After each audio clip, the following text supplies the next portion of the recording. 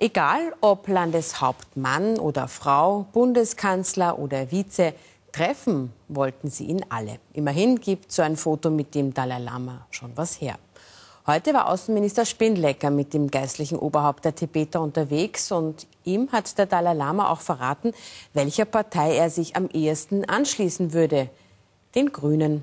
Michael Spindlecker nahm es mit Fassung und einem Lächeln.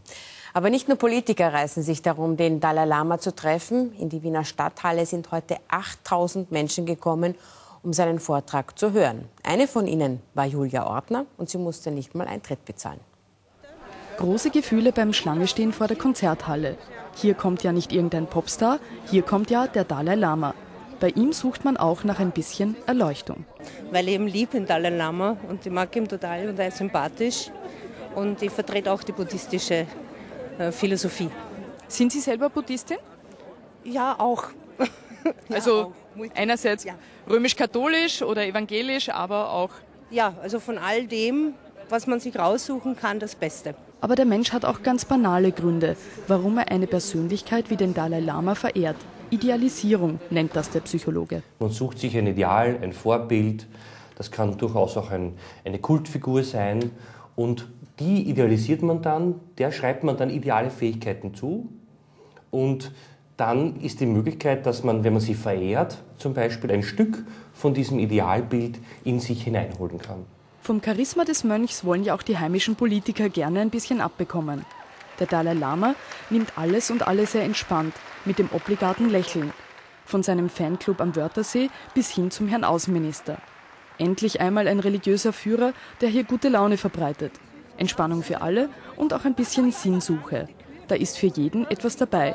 Egal, warum man heute hier ist. In erster Linie, weil mich meine Mutter mitgenommen hat und zweitens, weil ich mich auch so für so ein bisschen alternative Sachen interessiere. Also nicht nur so die typisch katholische Kirche, sondern auch also im Osten, Buddhismus und so. Ja, ich weiß nicht, er interessiert mich schon länger. Auch generell beschäftige ich mich schon länger mit Buddhismus und ich wollte mir einfach das ganze Spektakel mir anschauen heute.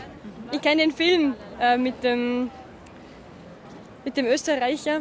Wo sie, also von daher kenne ich den Dalai Lama eigentlich so, um was es da geht, aber so richtig weiß ich nicht viel.